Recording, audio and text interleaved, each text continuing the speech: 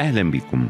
زي ما في رموز بتتكتب داخل صندوق البحث في كمان أوامر بتتكتب عشان تديني نتائج دقيقة جدا وهو ده اللي هنعرفه في الخمسة دي.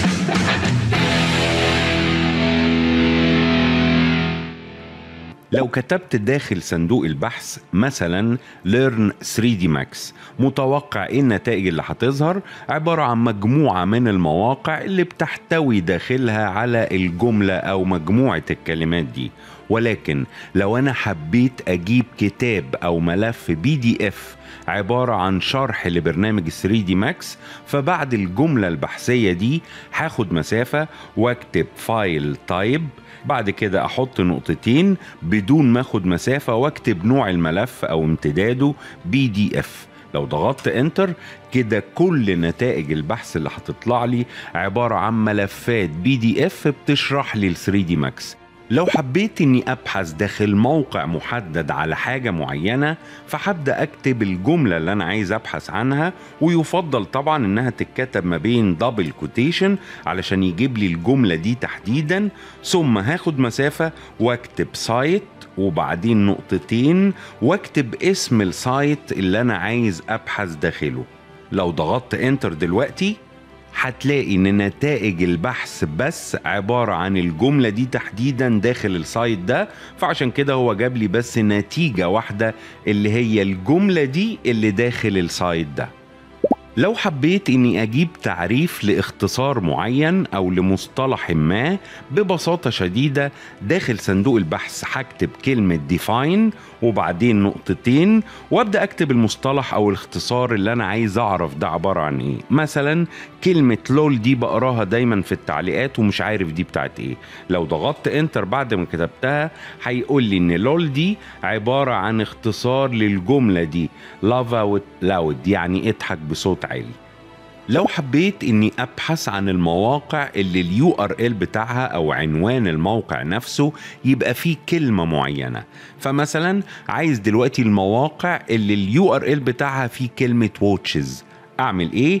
هكتب في صندوق البحث in URL ده الأمر وبعدين نقطتين وأروح كاتب كلمة البحث اللي هي watches لو ضغطت دلوقتي enter كل المواقع اللي جت قدامي دي المفروض ال URL بتاعها فيه كلمة watches. لو ضغطت على أي واحد فيهم لازم هتلاقي كلمة watches موجودة في ال URL.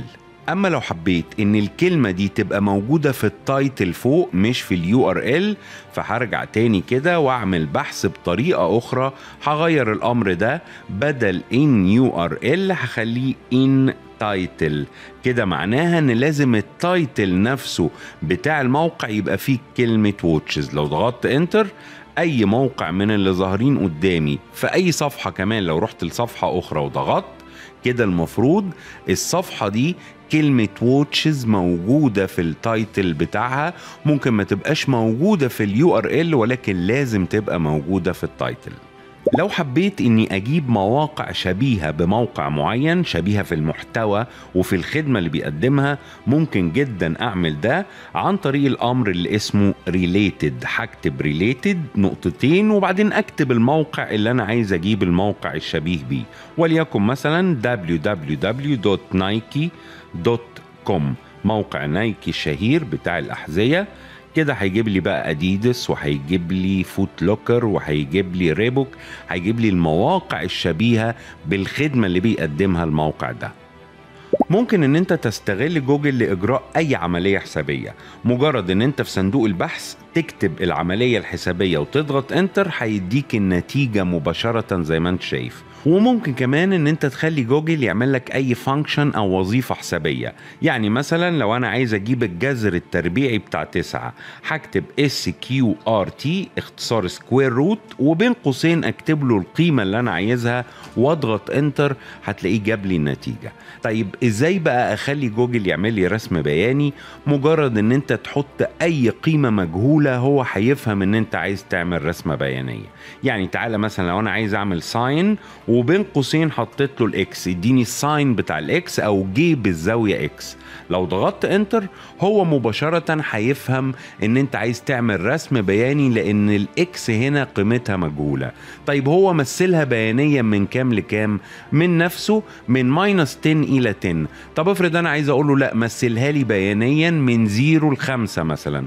هروح بعد القوس الأخير أخد مسافة وأكتب from 0 to 5 واضغط enter كده قيمة ال X متغيرة من صفر إلى خمسة. لو دماغك لفت من جوجل تعالى بقى نلف له دماغه. اكتب له بس كده في صندوق البحث do a barrel roll واضغط enter وأشوفكم الخمسة الجاية.